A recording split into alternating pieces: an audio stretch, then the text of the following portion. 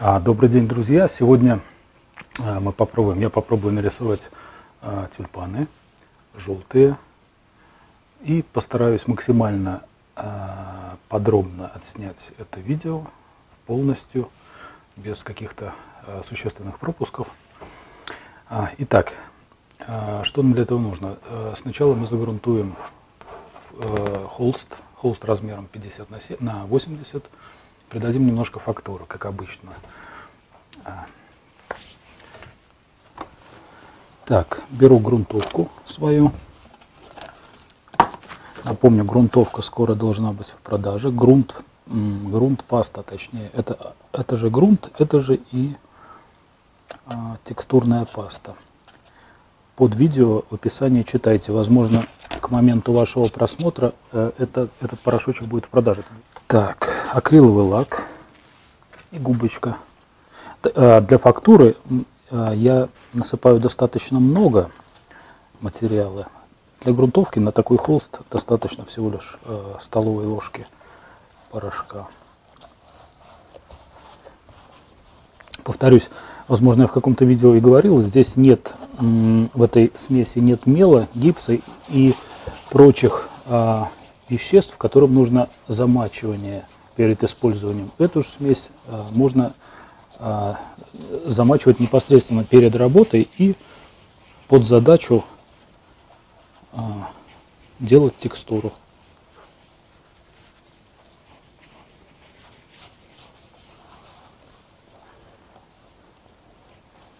Так, вот несколько жидковато разбавил. Можно добавить еще порошка или же подождать, пока он загустеет.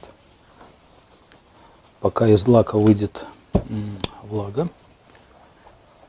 Чтобы более качественно а, делать текстуру. Я сейчас поставлю на вентилятор этот холст, чтобы она, чтобы ускорить этот процесс.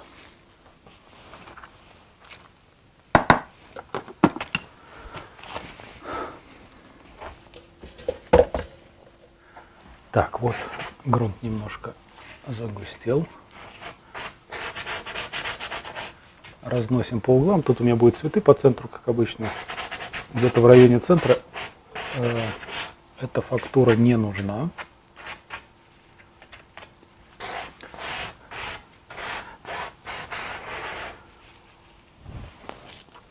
Так, вот лишняя паста у нас. Многовато а, проложил. Текстура а, нужна только для фона. Можно обойтись и без текстуры, но на гладком холсте трудно сделать такой качественный, интересный а, фон.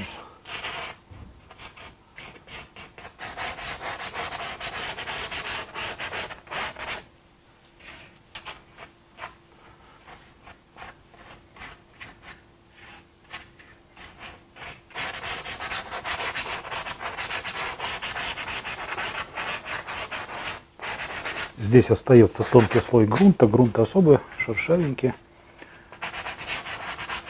который очень помогает вести работу в один а, сеанс.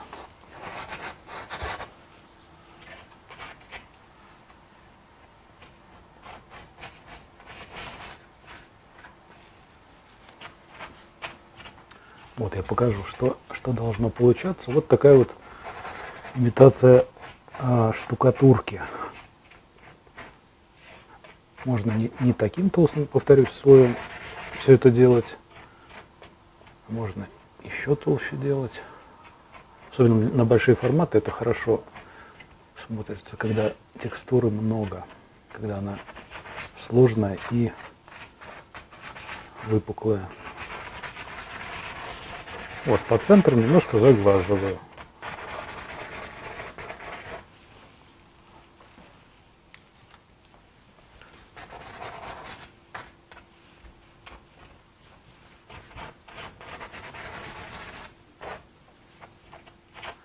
Вот все, две минуты работы, а уже очень, э, эта процедура очень облегчит, э, поможет в работе, в дальнейшей работе. Так, ставлю опять же на вентилятор и набираю краски.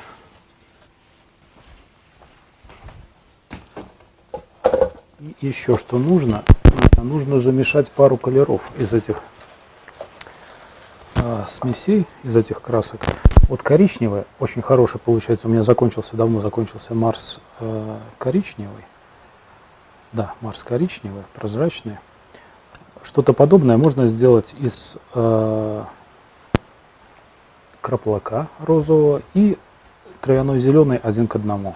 Приблизительно по количеству один к одному. Получается темный, хороший, глубокий коричневый. К тому же лессировочный, так как обе краски лессировочные. Напомню, должен быть мастер-класс как травяная, так и а, краплак. Вот хорошая, укрывистая, не, не, так, не так быстро сохнет, как а, Марсы. Они прям на лету, особенно летом, сохнут в тонких слоях. Это не очень удобно. А это более-менее живучая краска. То есть э, день, сутки можно с ней, э, с этой краской работать. Вот она и лессировочная, у нее хороший цвет, и вот в разбеле она вот такая, вот очень хороший коричневый. так, дальше. Да, можно то же самое сделать фиолетовый хороший. У меня есть видео про колеры, посмотрите, там еще есть колера. Вот немножко FC и а, раз так в 6, в 8 больше краплака. Вот, что смотрим, какой цвет. Да, вот хороший, глубокий, также э, стабильный и лессировочный колер получается. То есть также два мастер-класса между собой, они лессировочные, прозрачные, чистые цвета. Так, что еще? Ну, можно, знаете, что сделать? Секундочку. Вот можно взять а, лимонный. А, а, да, получается с изумрудочкой. Сейчас с изумрудкой, а еще лучше с зеленой FC. Как более чистый цвет. Также немножко, совсем немножко. Вот буквально на эту кучку там, не знаю, спичечная головка, может, меньше. Вот такой солнечный цвет, а, зелень на солнце, вот такой вот. Так, подсохла текстура. Сейчас я ее немножко сниму колючки, которые остались. Не над палитрой, конечно же, делаем, иначе будет весь вся краска Вот минут 10, наверное, на вентиляторе, меньше. Она уже подсохла, она еще не, не окрепла, но к концу работы она как камень станет. И повторюсь, эта текстура, она гибкая даже в толстом слое, поскольку она на, на основе акриловой смолы. Э, все это штука, э, вся эта история гибкая, можно снимать с холста, сворачивать в рулон, она не отскочит, очень прочно будет держаться.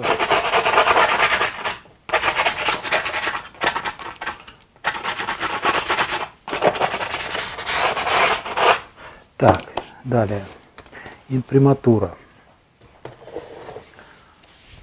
Имприматура делаем, делаю под, под задачу. В данном случае ну, я хочу написать э, пионы такие, тюльпаны солнечные, теплые, теплую работу.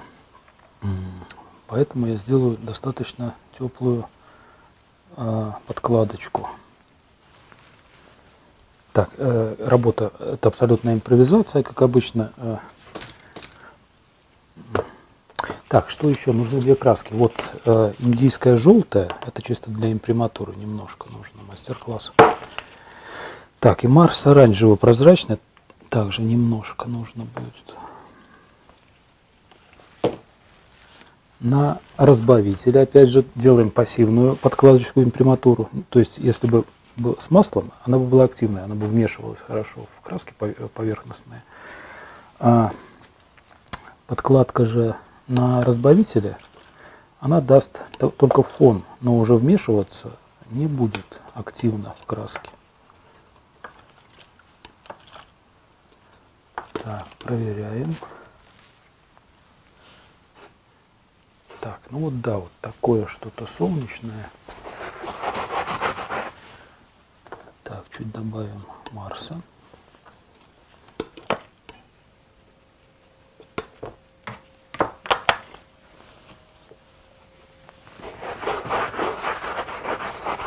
Так, вот здесь я перетемнил немножко.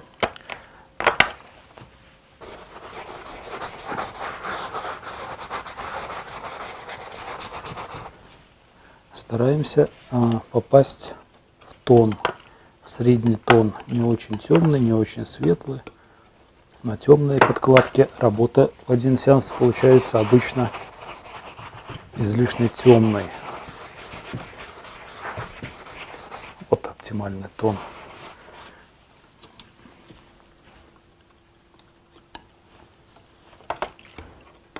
Тон для начинающих это темное светлое художников.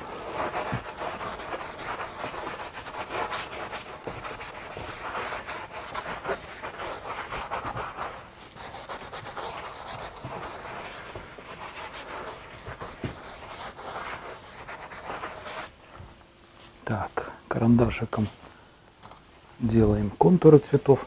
Ну вот что-то вот, опять же, какая-то фигура у меня будет просто вертикальная, немножко достаточно крупные цветы. Вот центральный. Как устроен тюльпан? Понятное дело, там три, три лепестка вот так, и, и внутри еще три с проворотиком. Вот один. Вот второй у меня будет. Так. Хотел вертикальный, что-то завалил. Ну ладно, пускай будет заваленное. Так,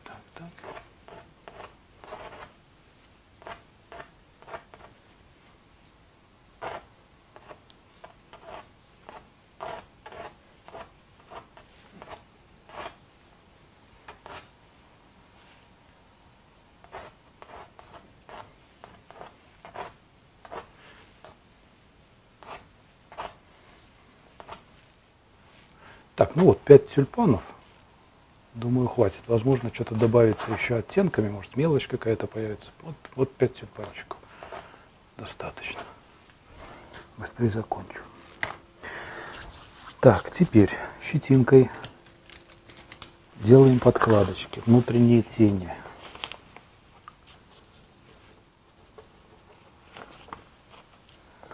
Берем желтый.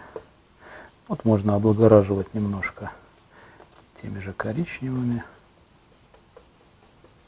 Без белил пока что.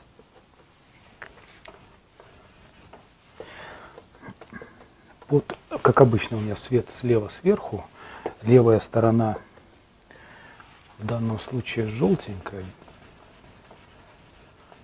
чисто желтая. Правая уже с рефлексом.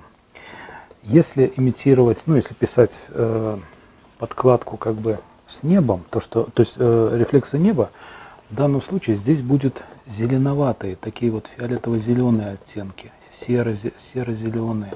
Поскольку э, голубой рефлекс неба э, ляжет на желтый и даст зеленый. Ну, то есть при смешивании желтый с зеленым, э, с синим дает зеленоватые оттенки.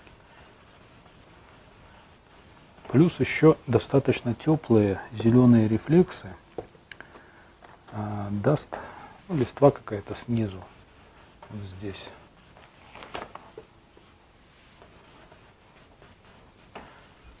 Так, внутри у меня оранжевый. Да, кстати, возьму, наверное, оранжевый.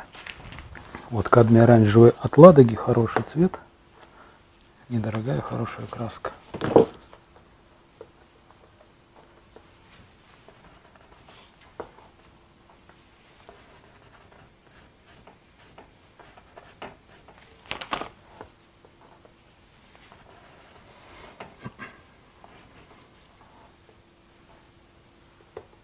Краску немножко можно разбавлять, но слишком разбавлять не нужно. 10% масла это 10%. Если много залить вот этим двойником поверхность, будет долго сохнуть и э, работать будет не очень удобно впоследствии поверхности.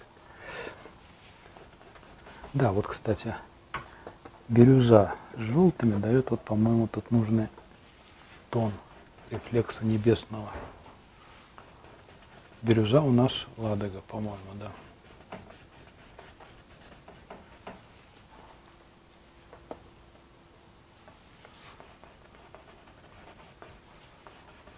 Так.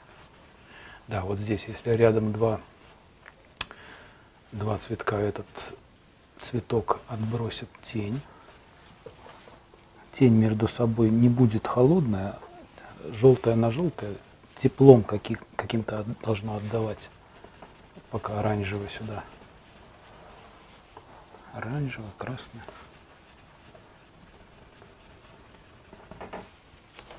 Да, лучше работать несколькими инструментами для экономии краски. Ну вот, чтобы этот зеленый, он еще пригодится для теневой, чтобы не пришлось ее скидывать, эту краску.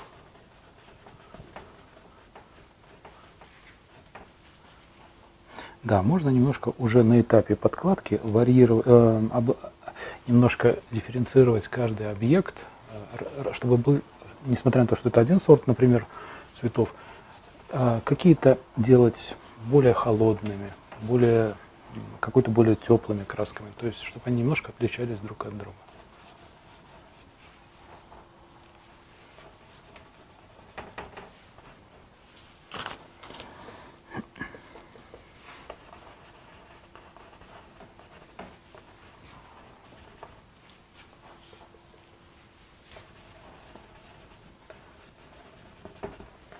Стараемся работать пока что тонкими слоями, так как все это будет сниматься еще, то есть краска, излишки краски будут удалены.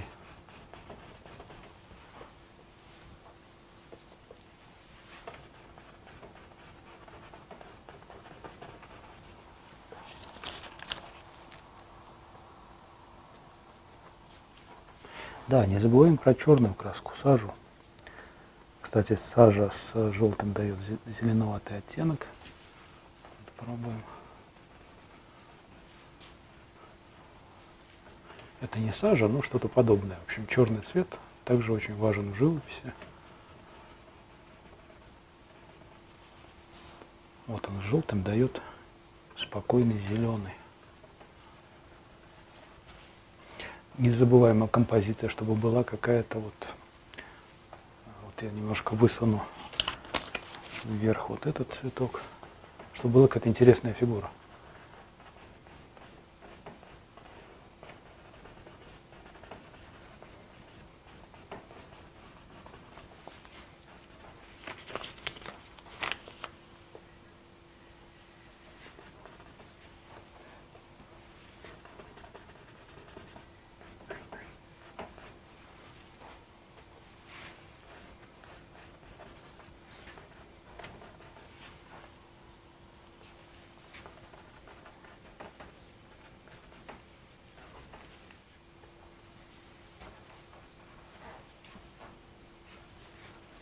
Да, очень важно. Прищуриваемся, проверяем тональность. А, мы а, видим тональности хорошо различия, небольшие в тоне, когда глаза открыты, мы их хорошо замечаем. Нам кажется, что достаточно между, например, светом и тенью. Как только мы прищуримся, а, света в глаза попадает меньше, им уже труднее попасть, э, заметить эти тональности. И становятся заметными тональности только очевидные, когда светлое это действительно светлое, а темное достаточно темный предмет. То есть прищуримся, проверяем. Вот здесь можно еще добавить чуть-чуть темноты, то есть чтобы разница была ну, такая серьезная. Особенно когда пишешь солнце, на солнце контрасты очень большие на солнечном свете. Так, вот заготовочки. Почти закончены.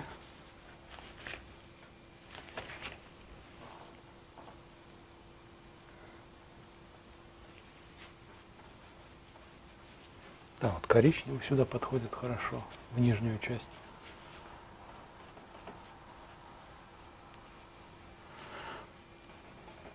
пускай этот тоже тень отбросит.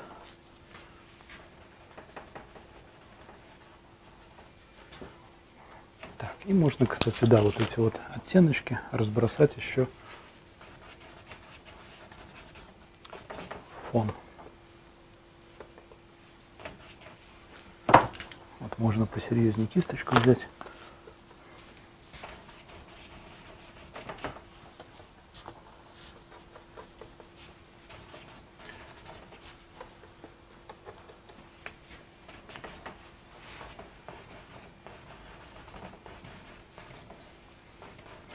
Я еще не решил, что тут будет с фоном, что э, это, повторюсь, импровизация полнейшая.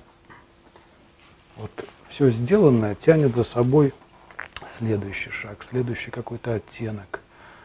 Э, тем самым работать интересно. Ты, ну, по-настоящему творчество какое-никакое. Плюс э, ну, в общем, да, работать намного интереснее, когда работаешь вот, вот так вот, творишь по-настоящему. То есть э, созидаешь что-то новенькое, не срисовываешь. Так. Дальше. Тональ, темный цвет какой-нибудь подкладываем. Смотрите.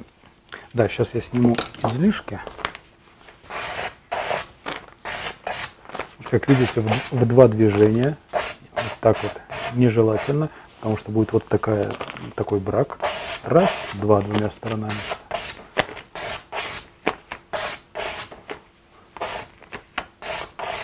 Грунт держит первый слой краски очень хорошо.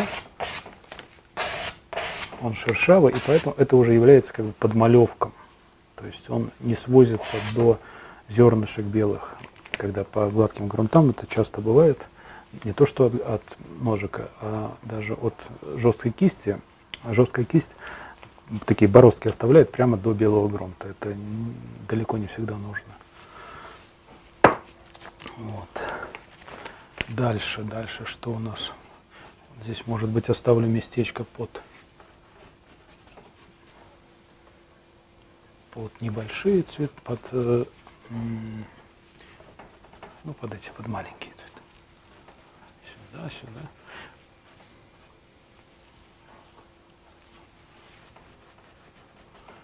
Так, дальше. Теневую а, тень берем. Тень берем, наверное, на скипидаре. Темные краски. Вот беру, наверное, вот этот колер. На скипидаре также для того, чтобы она подсохла и не было в нем масла, чтобы ну, по поверху можно было как-то работать без э, перемешивания темного со светлым. Вот пару очень темных мест задам для, такой, для тона, чтобы был конкретная тональная разница вот здесь, где-нибудь вот здесь, здесь, без белил. Все остальное уже... А, да, высветлять можно с э, светлыми красками, не, также не, бел, э, не белилами, чтобы не терять насыщенность в тенях. Вот, белила погасили сразу. Сразу же эту, э, э, эту краску. Хотя вы знаете, в этом кадме и есть белила, потому она и не кроющая, то есть не, не лессировочная. Вот в составе здесь написано э, P э, пигмент Yellow 3 и PW6, P, пигмент белый, титан. Это колер тоже, это не чистая краска, это составная краска на заводе составленная. Так, красненького чего-нибудь. Краску я э, разбавляю не вот так, это важный момент. Студенты все время вот так разбавляют, и, и переизбыток вещества, и в том числе масла в смесях, уголочком. Уголочек вы должны чувствовать кончик. Даже лучше, легче э, промахнуться, но вот взять только сколько нужно э, разбавителя.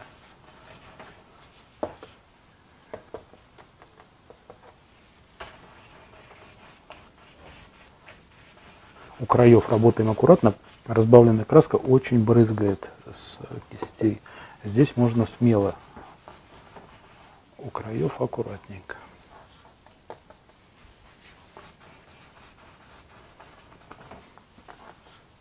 Вот какие-то случайные краски беру.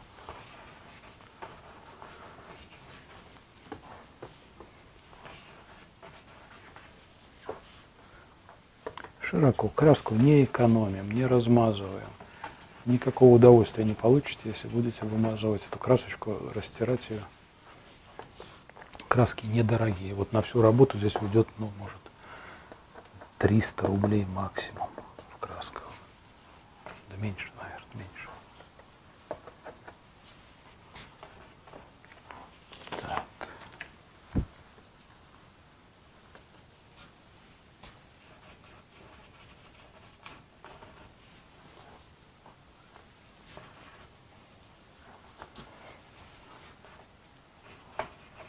А, да, забыл. Разбавляю вот этим. Лучше разбавлять вот этим.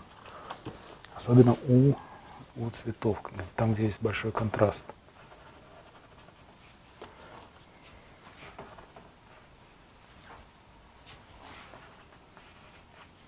Старайтесь брать, работать лессировочными красками. Они, несмотря на то, что здесь о лессировках ни, ни, никаких речи не идет, но лессировочная краска более красиво э, лежит, особенно в тонких слоях, они перемешиваются красиво. Тут очень много лессировочных красок, вот этих коричневые, получается, что у нас травяная, вот эти вот, да, бирюза, по-моему, лессировочная, вот это, вот это, вот это, FC зеленая, или, да, FC зеленая, она хорошо, также прозрачная, красивая краска. То есть они в, микро, в перемешивании, в тонких, более красивые, чем а, вот введу я сейчас охру немножко, сразу будет место глухое, а, поскольку охра очень кроющая краска, не лессировочная. А вот эти вот оттеночки, через них а, видны, через, как, через пленочки, через пигменты, следующий пигмент, вплоть до вот этого грунта. Так, дальше.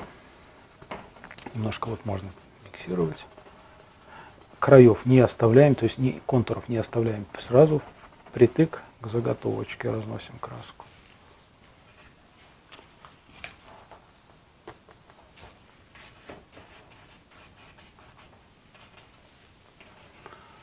Так. Угу. Сверху у меня будет, сверху будет намек на э, небо. Так, запись идет, все в порядке. Так, небо возьмем вот бирюза. Не небо, а что-то такое светлое, холодное. Так, что это за краска? Цирулиум. Цирулиум, цирулиум не очень яркий. Возьмем вот королевская голубая. Вот то, что я хотел выдавить. Да, в комментариях все время спрашивают, что это за пленка. Это просто обычная пленка, а, толстая, для предотвращения там, контактов с краской. Некоторые краски это тяжелые металлы, кадмия, кобальты. Они неплохо перед, переходят, мигрируют через кожу в организм.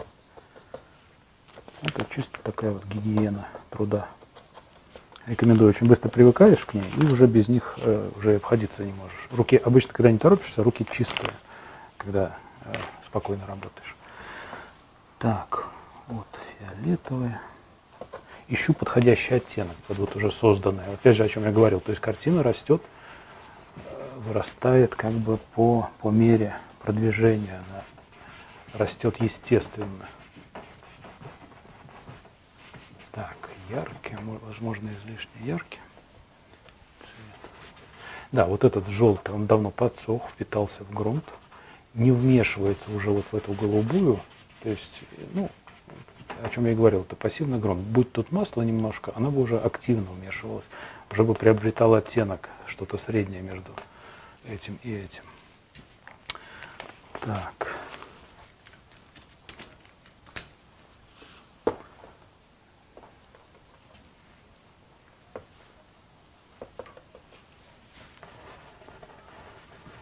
Вот захотелось вот этого солнышка сюда.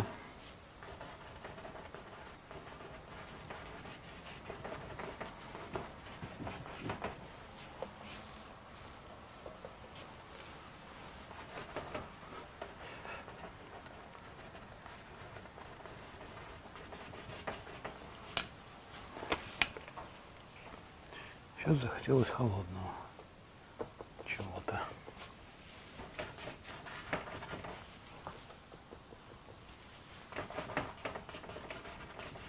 Да, берем тональность пока что темнее, чем нам нужно. Это важно.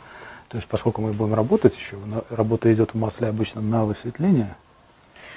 Вот, поэтому, ну так, процентов на 10-15 как бы берем тональности поглубже, потемнее.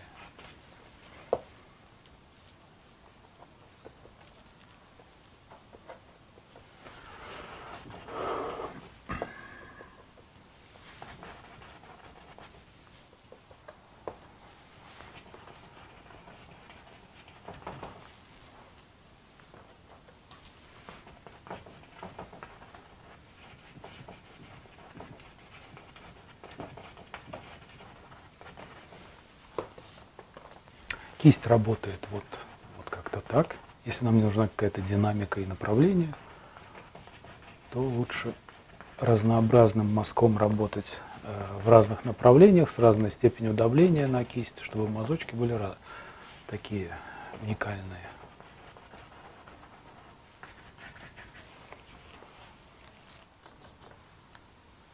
Отходим. Я вот ленюсь отходить. А надо бы смотреть общее впечатление, менять угол зрения, относить работу э, на обратную сторону мастерской помогает, фотографирование помогает, чтобы мы свежим взглядом смотрели, чтобы не было заштампованности. Психологи тут читал, ну, много читал, а, пишут именно про живопись, то, что художник, когда пишет, а, он не, не может очевидно смотреть на работу. Ну, не в состоянии. Ну, свойства человека, свойства а, псих, психики. Поэтому нужно отходить, нужно как-то разные углы зрения смотреть на свою работу, чтобы освежать, освежать взгляд. Как правило, то, что мы делаем, ну, нам более-менее нравится. На самом деле, и ошибки мы допускаем, и, возможно, какие-то негармоничные отношения и так далее. Так что, особенно это касается пейзажей. Пейзаж нужно писать, обязательно проверять. Каждую минутку отходить, смотреть. Так, так, так.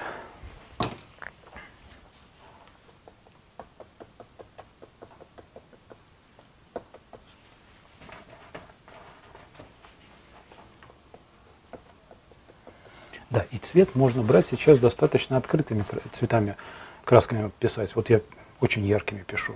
Они в процессе работы немного, в дальнейшей работе, они немножко успокоятся.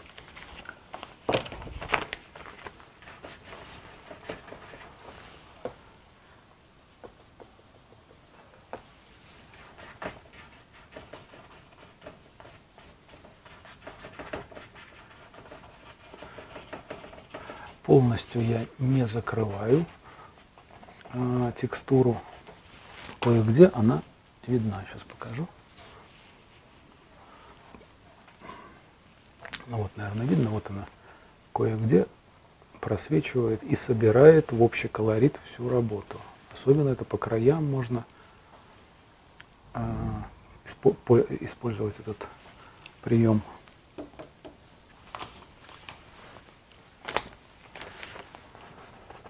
Так, вот еще раз приближаю краску к заготовкам. Вот она в процессе, она немножко и успокаивается. Вот эти яркие оттенки в процессе дальнейшей работы, они будут миксироваться между собой и немножко успокаиваться.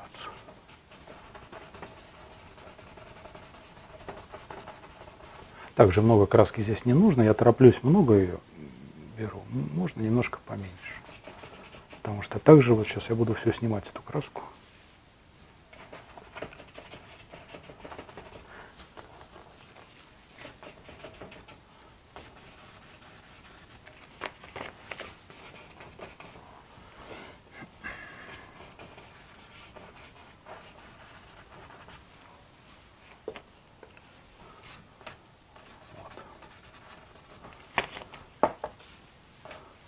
Так, снимаю. Снимаю излишки. Опять, опять же в два движения. Да, извините за подробности, но мне многие просят, фильм будет длинный, конечно. Многие просят именно вот такие необрезанные фильмы делать. Много, конечно, повторений из фильма в фильм, но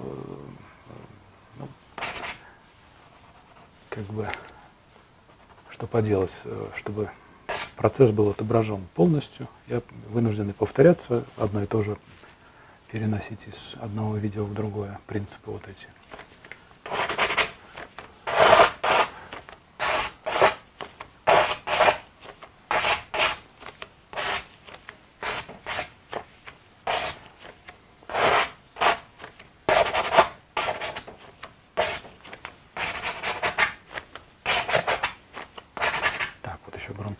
Подсохла местами.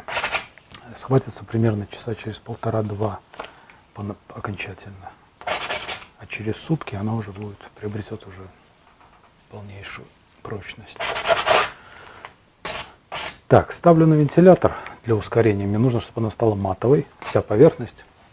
Э, окончательно испарился двойничок вот этот, чтобы можно было спокойно продолжать.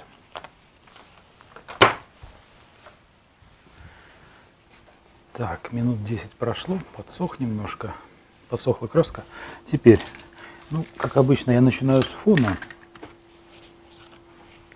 а, строительными кистями,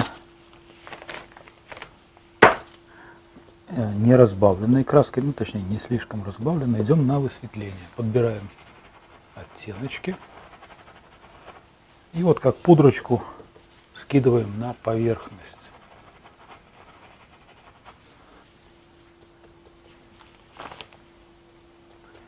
Тоже можно во все белило использовать. Опять также как бы ну, по наитию что ли. Как бы законов каких-то нет цветовых. Ну, точнее, они есть, конечно, но в данном случае просто подбираем красивые оттенки.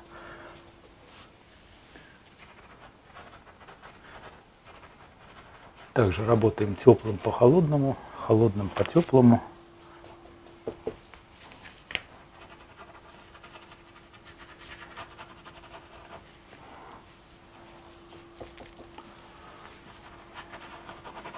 И прям заходим на заготовки, не боимся.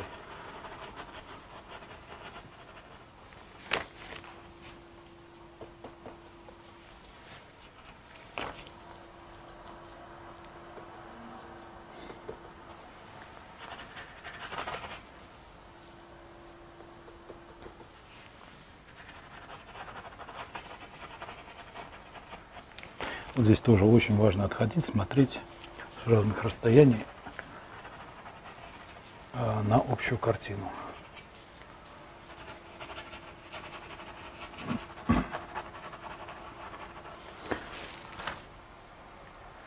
Вот еще раз покажу, что я делаю.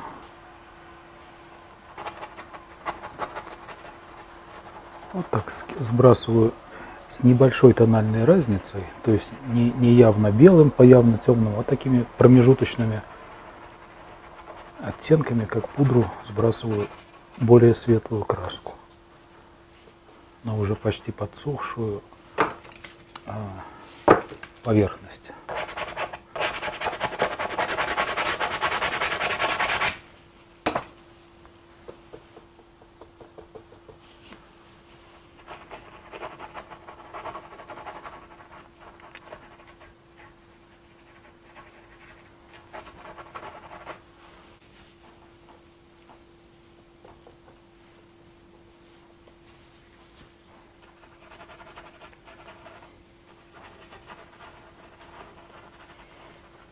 Вот перетираются между собой краски, о чем я ранее говорил, и уже из ярких оттенков перетираются в такие пастельные, сложные а, оттенки. А, к тому же происходит так называемое оптическое смешение. Вот здесь вот, вот эта вот рябь, мелкая-мелкая рябь, на, если, мы, э, если близко смотреть, видим эти различия. На дальнем расстоянии вот эти две краски с, э, ну, которые лежат рядом, они э, на расстоянии смотрятся новым оттенком, сложным. Вот это оптическое смешение, оно очень ценно в живописи, этим пользовались э, импрессионисты очень широко. Немножко другим способом. Они не дотирали мазок, у них в мазке было сразу много-много чистых красок. То есть они брали краску, часто брали краску без, э, без миксирования на палитре и этих несколько оттенков прокладывали, и полосочки вот эти цветные, они как бы все вместе работали по совокупности на результат.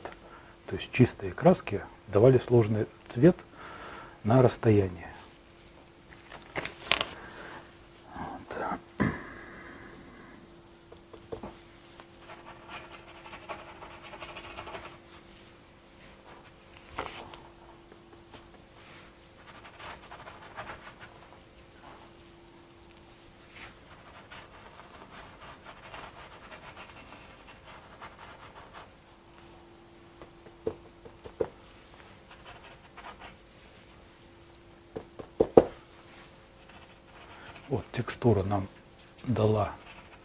Красивый фон. Буквально за две минуты работы. Э, к фону я еще буду возвращаться, но вот уже в этот фон, в это окружение можно вписывать, начинать вписывать объекты. Цветы, листья и так далее. Так, для начала также пока, начинаем пока что щетинкой среднего размера, вот двадцаточка рублев. Хорошие рабочие кисточки, очень рекомендую. Щетина недорого, Она хватает надолго. Хорошо собраны, кстати, не, не разваливаются, если не штриховать против шерсти, они долго держат форму. Так, теперь смотрите, ну, определяемся с, э, с цветом солнца. Уже можно немножко белил пробовать захватывать. Можно, теоретически можно, если нужны яркие цветы, просто кадмиями работать. Будет желтый такой сочный цвет. Но все же, чтобы показать э, освещение, а солнце очень сильно выбеливает э, краски, тут уже приходится немножко ее разбеливать. Работаем, смотрите, вот объект большой, тут сколько, наверное, сантиметров 30, э, не рукой, а прямо от плеча. Линия должна быть длинная, ровная. И работаем, мазок кладем по прожилкам. Вот, например, это у нас один лепесток.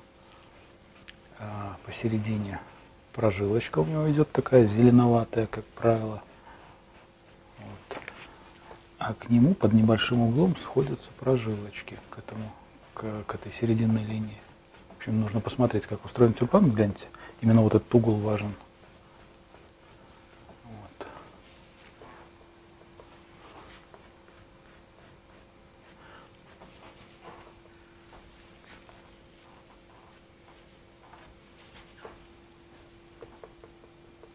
и лимоночку захватываю, и кадмий вместе миксирую. Вот лимонка, чистая лимонка слишком холодная краска для солнечного света, а кадмий красный, ну, наверное, слишком теплый, что ли. Вот, возможно, нужно кадмий, так, это у нас кадмий средний. Кстати, да, возьму я, наверное, кадмий желтый темный. Для каких-то моментов я забыл про нее, про эту краску. Какие-то места кадмий желтый темный, очень такой красивый цвет. Именно мастер-класс нужен.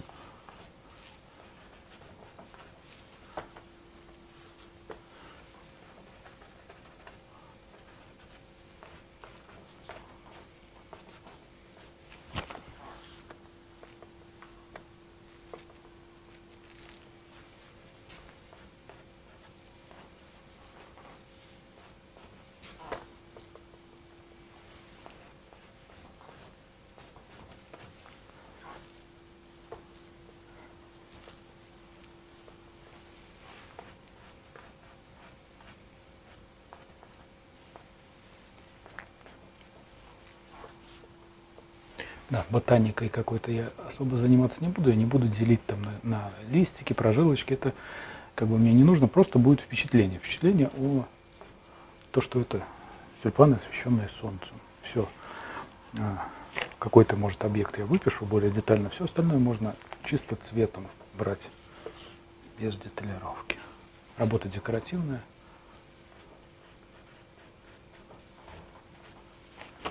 Так, рефлексы тени, рефлекса.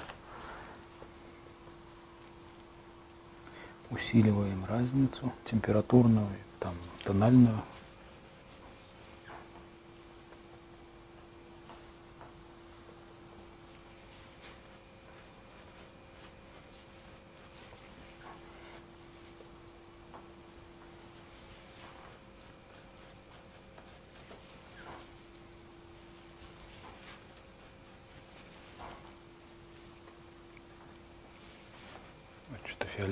Захотелось в желтый ввести. По крайней мере, вот в эти плоскости, которые будут рефлексировать, на которые будет рефлексировать небо. Вот здесь уже так не будет, это к земле повернутая часть. Тут уже какими-то зелеными, серо-зелеными красками нужно работать.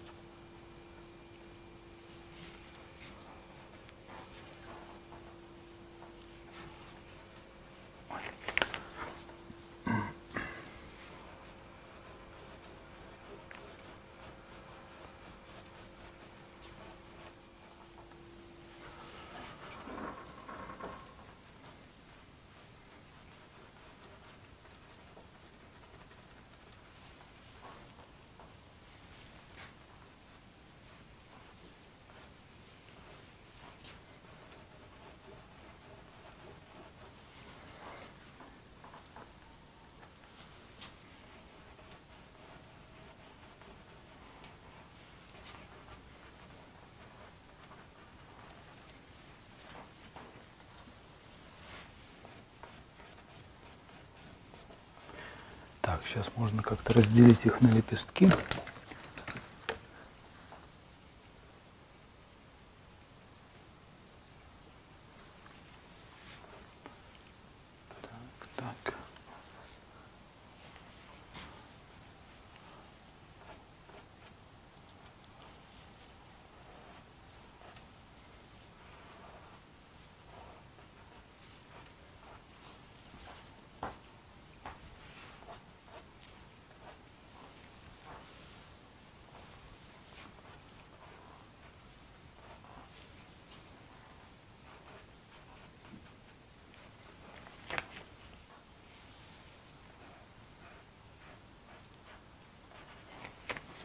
Да, внутренние тени теплые, точно так же, как вот этот желтый с желтым дает тепло между собой, рефлексирует.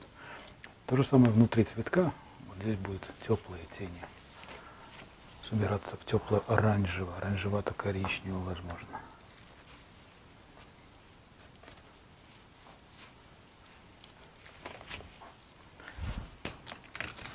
Так, излишки краски, если имеются, также можно аккуратненько снять. Так, сейчас я беру уже цветочную кисть для формирования, для более такого, более деликатного формирования лепестков.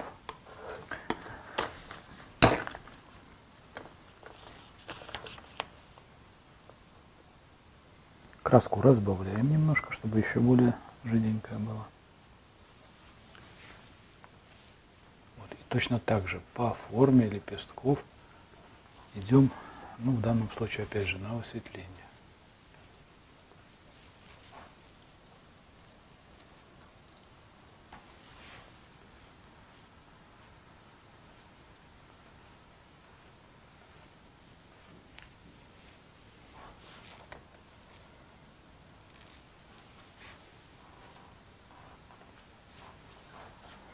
не перебеливаем. Такой важный момент, чтобы совсем разбелку не пошло особенно для тех, кто с фотографией рисует, там забеленные места цветных предметов на свету. А, то есть фотография, он как бы воспринимает почти белое, как белое. И начинающий художник повторяет этот белый цвет, и картина разваливается, она не смотрится. То есть цвет исчезает, когда перебор по белому. Вот этот почти белый здесь читается. На самом деле он далеко от белого, как видим на палитре отстоит достаточно далеко. Даже, возможно, я переб... сам э, излишне разбеливаю работу.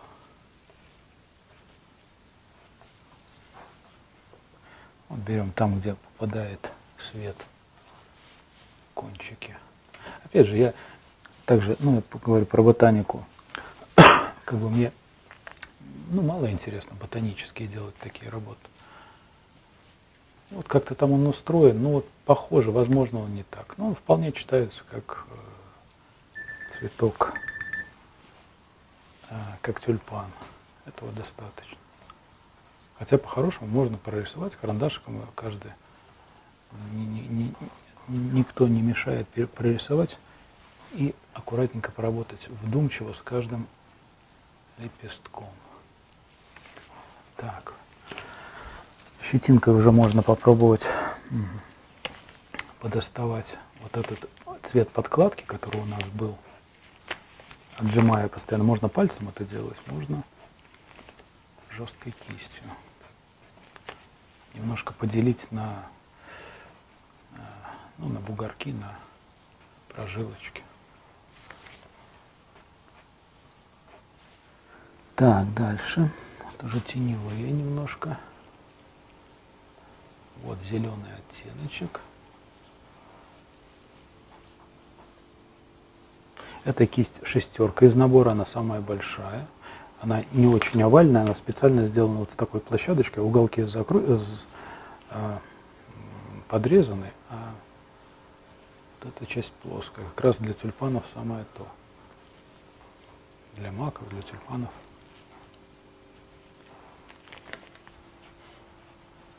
Кстати, вот эта кисть, она хорошо умеет вот делать как раз вот такие патинирования, это называется движение. Ну, то, что мы делали строительной кисточкой, сейчас вот можно по подсохшему бочком без давления прокладывать оттеночки вот так вот. Также усложняя текстуру работы.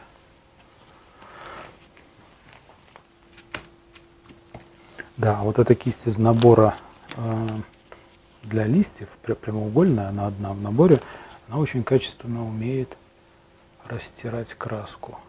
Вот так растираем, растушевываем, соединяем э, жесткие какие-то, ну, соединяем свет с, э, с полутенью, например, в данном случае. Но это очень качественно делает. С, с, входит и выходит как бы вот так, без резкого входа. Вот так вот работаем. И то, также едва касаясь, и пос, пос, э, постоянно отжимая от краски. Вот она смиксировала между собой вот эти два жестких э, контрастных, э, две жестких контрастных краски. Естественно, не сразу после того, как мы разбавителем что ли поделаем, немножко нужно подождать, пока выветрится, тогда качественно растушевывается. Если краска жиденькая, она, конечно, смажется некачественно. Растушевка качественной не будет.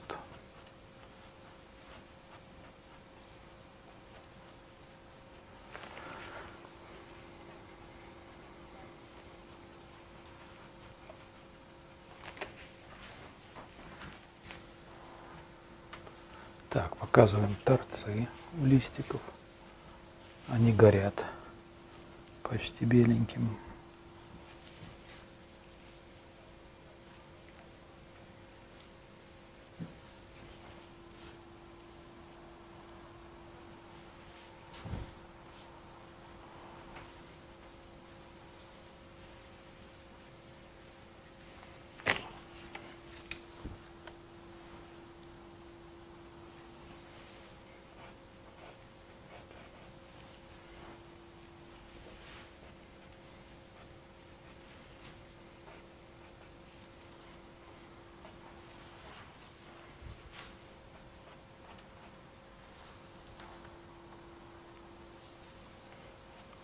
Так, опять сделаю маленький перерыв. Опять же, чтобы краска остановилась. Если нет вентилятора, просто побольше перерывчик чайку попейте. Если есть вентилятор, то очень удобно, когда работаешь на разбавленных красках, чтобы все снова и снова подсыхало немножко и работа, чтобы верхние оттенки ложились на загустевшую краску. Так удобнее работать. Они не так смешиваются, нет грязи.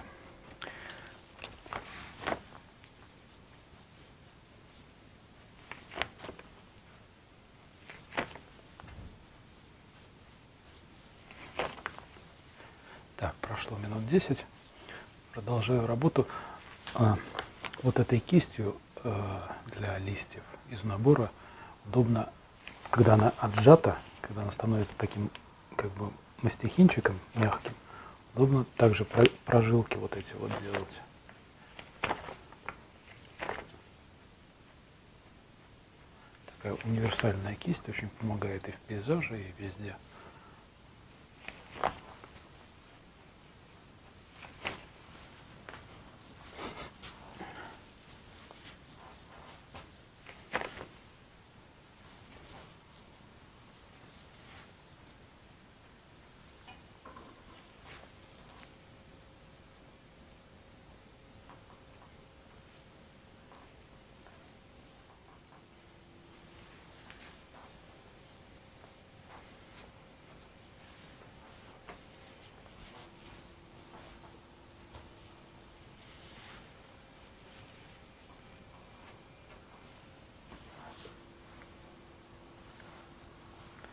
Намеки уже на зелень можно а, оставлять. Также без давления можно на скорости, скорость нам дает ровный мазок, а, и то, что краска не успевает а, закрасить углубление. То есть желательно вот так вот на скорости делать этот мазок. Краску подбираем, очень важно Э, консистенцию, чтобы она и не густая была, но и не очень жидкая, мягенькая такая вот. Тогда она будет хорошо сбрасываться.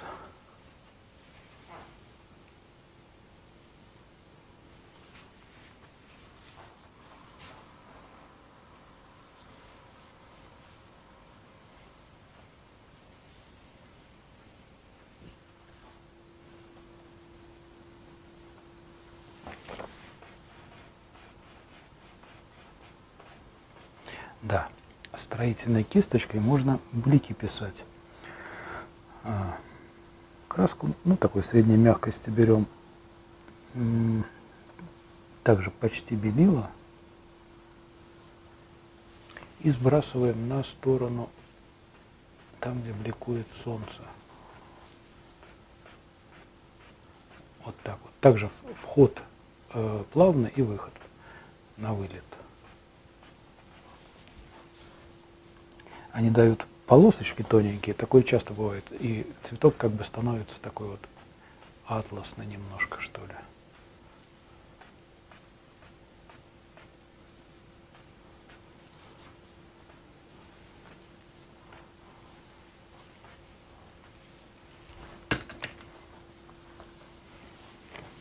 И опять же потом а,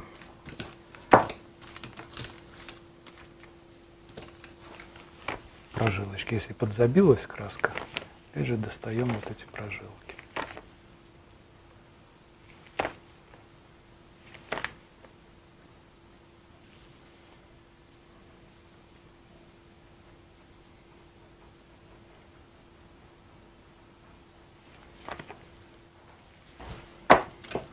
Также можно какие-то спецэффекты попробовать вот этой кистью. Обратной стороной взять какую-нибудь краску. Вот можно так, ну краплак, да, ну, попробую краплак, раздавить немножко по поверхности палитры краску, не разбавленную, без белил. Смотрите, вот должна быть подходить вот эта краска уже, ну то есть она, она должна быть родная вот этому лепестку. И потом обратной стороной окунаем Э, ну, например, более темную, более светлую, неважно, в какую-то контрастную краску, ставим и протягиваем. Ставим, протягиваем. То есть собираем уголочки, кончики у тюльпанов такое бывает. Или желтой краской, или зеленой. Тут уже по вкусу. И точно так же движение очень важно четко поставить и по прожилочкам на вылет.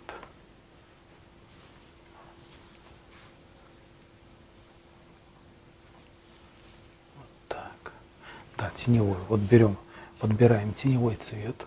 Вот он родной. И опять же берем что-то. Да, можно просто проложить, вот, э, например, две, одну-две прожилочки такие и протянуть, как вариант.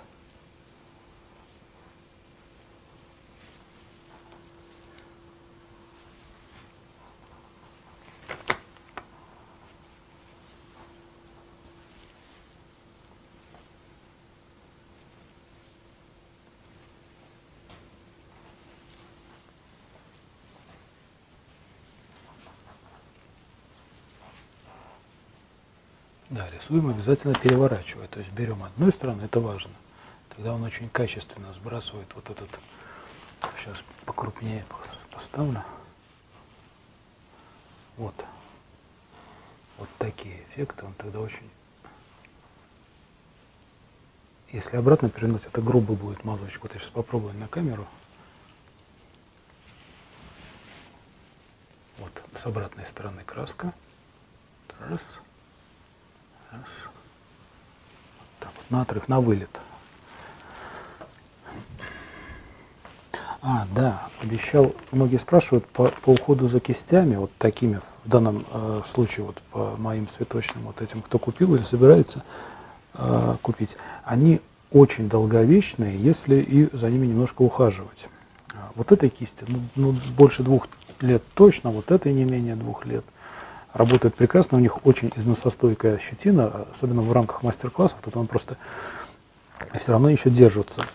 А, такой момент по поводу мытья. Как мыть? Кисти большие, отмывать их очень сложно. Ну, то есть любая кисть, она должна быть не то, что вымыта там, на, на 100%, а на 200. Дело в чем? Что, в том, что вы вроде бы помыли, помыли, водичка светленькая, но это если мыть водой. Э, по, по опыту я Знаю, что очень хорошо отмывает горячая вода с э, порошком стиральным. Недорого и так эффективно. Хороший стиральный порошочек, ложечку. Вот. Если не, не хорошо не отмыть, а, точнее, вот покажу на примере вот обычной кисти, Тут у нас проклейка эпоксидная, эпоксидная смола. Здесь э, нет проклейки, но в том числе и, и сюда попадает, как вот в этот патрон, э, двойник, тройник с маслом, там с, с чем, с э, лаком. Вроде бы отмыли, вроде бы водичка чистая, вроде все, поставили. Потом она каким-то молекулярным, там, я не знаю, там, э, какой-то процесс, поднимается все это. То есть масло, тройничок и склеивает щетину. Кстати, щетинным кистям это не очень страшно, их легко э, обратно в чувство привести, там, с тончиком каким-то или чем-то еще. А синтетика нежная, колонок или вот эта вот синтетика, она склеивается, как бы склеивается, и она такая вялая уже становится. И уже очень трудно их э, как бы реанимировать, чтобы они опять стали писать. Так вот, я к чему? Э, или очень тщательно моем, отмываем кисти, или же или же э, не мою. Вот я их не мою, у меня их очень много. После работы я просто, э, ну, разбавителем, если есть, э, остался разбавитель, немножко отмываю от краски на льняном масле и окунаю в подсолнечник, в подсолнечное масло. Э, вот так вот, например, это подсолнечное масло, хорошенько про, про, про э, ну, чтобы щетинки хорошенько набрали это масло, и все, и кладу в данном случае я кладу э, в ящик, поскольку много кистей. Можно просто в черный полиэтилен завернуть, и так она будет лежать, ну так, дней 10, даже летом, ничего страшного не станет с ними. Вот, если перерыв больше, или уже отмываем, или же я делаю, когда в отпуск уезжаю, там больше двух недель, э, уже в масло, немножко масла беру э, оливкового. Оно не сохнущее, промокнул, точно так же положил, и все, и забыл. Э, ставить их в масло нельзя. Все нежные кисти, включая синтетику, они запоминают вот эту форму, и потом трудно их обратно, ну, чтобы они обратно стали нужной формы. Щетину опускать можно в масло при длительном хранении. Вот. Так что или хорошенько моем очень хорошо, очень тщательно, или же просто замачиваем, что я рекомендую. Буквально две минуты и все, завернул и хранятся эти кисти. А если есть еще возможность положить в холод куда-то, ну, на балкон зимой или в холодильник, может, у кого-то есть возможность, э, это еще более удлинит время, э, время эксплуатации, как бы, точнее, не эксплуатации. Вот. И еще такой момент по поводу э, формы кисти, как она себя держит. Вот эти кисти, они, вот он, становятся, и ее держит вакуум грубо говоря, э, внутри, когда много влаги, она склеивается, то есть это превращается в такой мягенький, э, ну, как мастихин, что ли, держит вакуум. Она не дает, э, краска, когда она хорошо наполнена краской и тройничком, двойником, не дает делать вот такой вот расчесочки. А, если же у вас и даже хорошее окунание в краску не держит форму, такое бывает, ну вот, ну, немножко так вот щетинка как бы вот такую форму держит. Немножко, с, э, например, раскол вот такой есть постоянно. Хотя это, кстати, иногда красиво, когда делаешь мазки, иногда это хорошо заходит в лепестках. Вот тогда просто промакиваем а, в густую краску, ну, например, белила какие-нибудь густые, придаем форму хорошенько и прогреваем. Вот придали форму нужную, вот так немножко вовнутрь, вот лопаточкой. Над газом, там, на чем-то еще 150, где-то до 200 градусов, несколько минут их прогреть. Вот. Она, как химическая завивка, опять же, придаст, э, каждая щетинка запомнит эту форму, надолго запомнит. Вот. У меня есть видео, э, ссылочка, может, подня- э, снизу будет, или же сами наберите Буйко, в YouTube Буйко, как придать форму кистям. Там все об этом более подробно, более детально. То есть мы придаем форму, можно формировать любую форму из кисти. Это такой маленький технический момент. Ну и главное по, по уходу. Лучше в масло. Вот. Так, что еще? Да, все же не хватает немножко света. Чуть-чуть можно все-таки, чтобы они немножко залоснились лайнером. Лайнер это тонкая кисточка длинненькая. Берем густую краску, ну, относительно густую. Окрашиваем немножко в солнечный цвет какой-нибудь. И по местам там, где солнце прям под прямым углом бьет в, в поверхность лепестка, прокладываем эти белила. И опять же строительной кистью, вот это, это во многих кисть... видео я показывал, этот прием очень такой эффектный. Мы немножко растаскиваем эти разные стороны, чтобы опять эта линия не была ровной.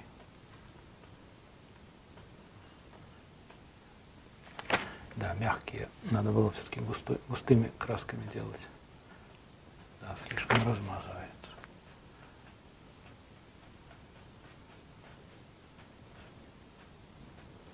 Вот, и сразу свет появляется, такой вот бликующий, когда лепестки чистые, промытые, например, дождем.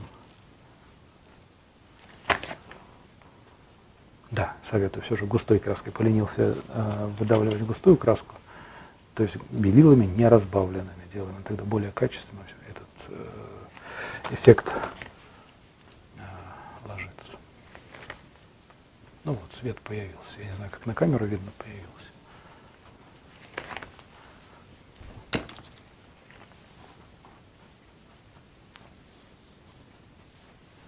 Вот, загустела, краска запластилинилась вот в тонких слоях. Можно очень деликатно впаять касание, так называемое. Вот, и, кстати, вот это темное, то, что мы на скипидаре делали, вот оно почти не вмешивается в краску.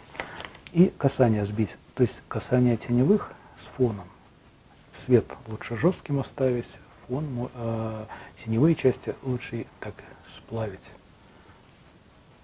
Тогда это более как-то смотрится, что ли, ну, качественно, что ли, не жестко. Нам лишняя жесткость не нужна в этих работах. Тут жестких э, хватает вот здесь по жестких моментов контрастных. Так, что дальше?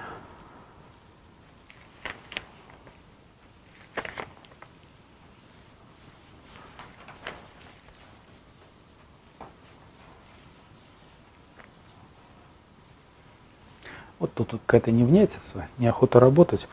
Перекроем листиком.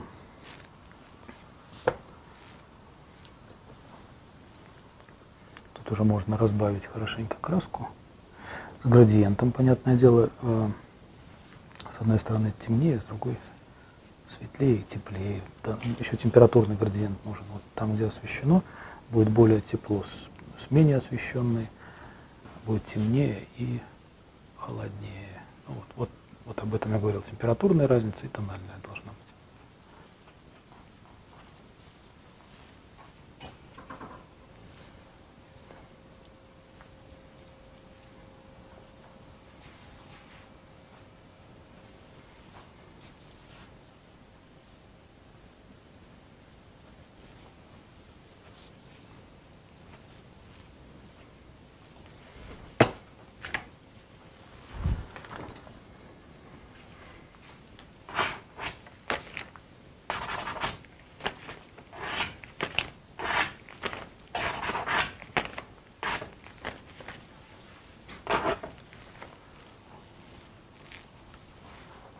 намек на палочку. Прикрываем один глаз, подносим кисточку и смотрим весовую, весовой центр, как бы находим. Иногда ошибаешься, как бы, когда смотришь, просто, ну, кажется, вот здесь, например, тут серединка. А когда приставишь кисточку, вот чувствуется, что ошиблись от центра, ушли, от центра как бы весового, смыслового центра э, оси цветка. Вот в данном случае вот здесь где-то будет вот это палочка, стебелек.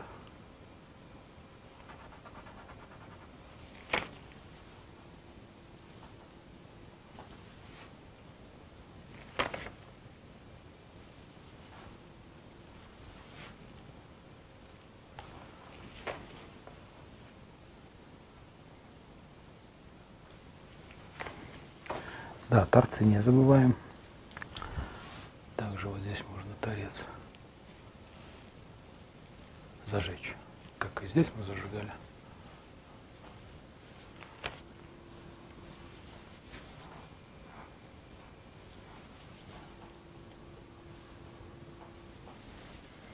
Вот какой солнечный оттенок.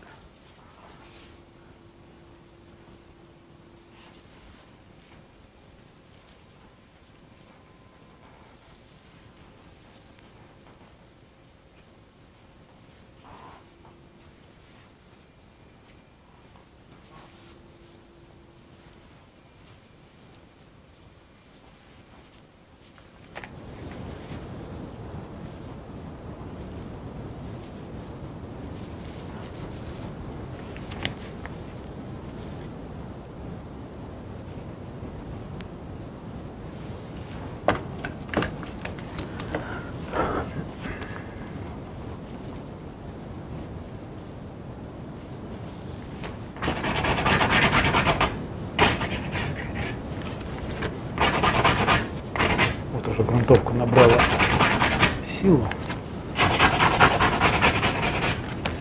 Текстура, точнее, фактура. И уже можно очень смело с ней работать. Повторюсь, разница с обычными текстурными пастами, например, такая как сонет, они очень скользкие. А тут держит краску.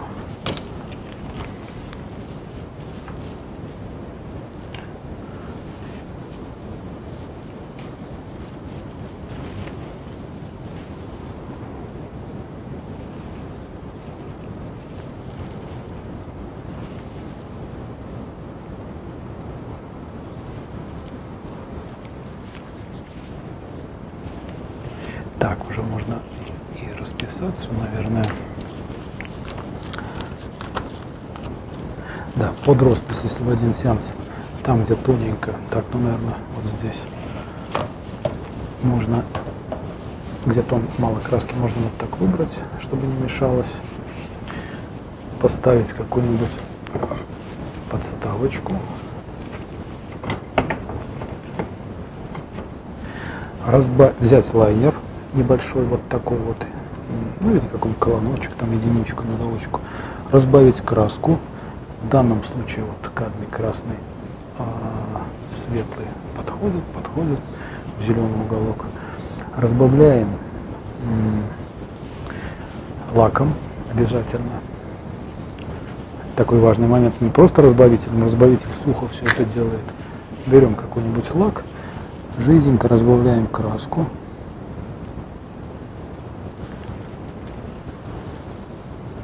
до состояния такой текучести, почти растекаемости. Вот разбавили. Излишки можно вот так вот снимать. И пишем. Сначала черновую как, какую-то подпись просто а, начерно как бы. Кисть можно поэлегантнее взять какую-нибудь, правда, нулевочку, но с длинным, с длинным Э, ворсом. Для чего? Для того, чтобы она тянулась э, красиво. А так криво получается. Кривая подпись. Вот когда кисточка тянется, сейчас я увеличу, когда кисть длинная, она не так, на нее не, не так влияет дрожание руки. Она как бы тянется хорошо, качественно.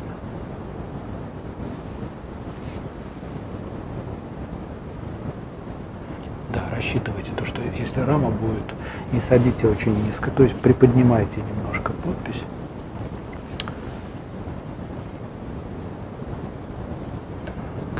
Я растягиваю по расстоянию между буквами. Фамилия короткая, а хочется, чтобы подпись такая была более-менее длинненькая. Так, это у нас 18 год.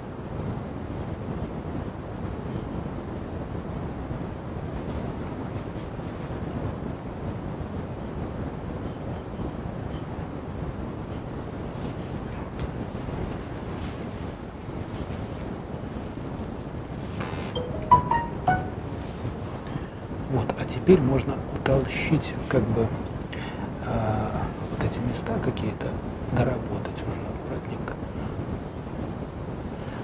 На лаке она, она будет выпуклой. Надпись. Вот эти места утолщенные, они останутся. Ну, главное, чтобы не потекло это место. Выпуклыми.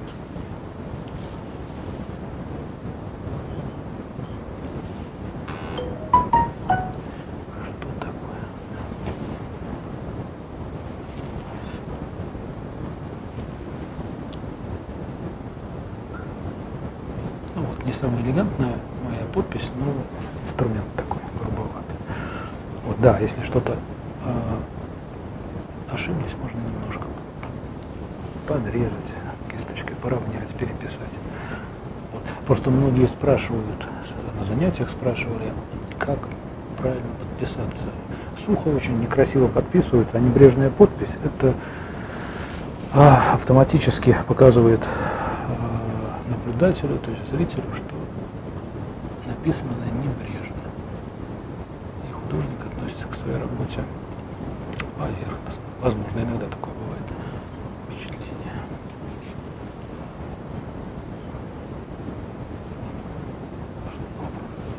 Так, ну, ну заканчивать на сегодня. У меня завтра занятие. А, я еще свежим взглядом посмотрю на эту работу, что-то, возможно, поправлю. Ну так немножко, может и не буду. Вот, вот такая она свежая, не замученная. Два часа приблизительно времени ушло. А, чистого времени. Да, не более двух часов. Ну, можно и меньше, можно и за час. Вот. Всем, конечно, удачи, пробуйте, это очень просто. Так, так, что-то такое. Главное с, сохранить чистоту цвета, оттенков цвета, тональную градацию. Не забыть, что свет намного светлее, чем сама тень. Вот. Но у кого не получится, не отчаивайтесь, приходите, уйдете с работой, с, на, приходите на мастер-класс ко мне занятия, вы идете с работы не хуже вот этой, возможно, намного лучше. Вот. Ну, а на сегодня все. До свидания. Успехов, удачи.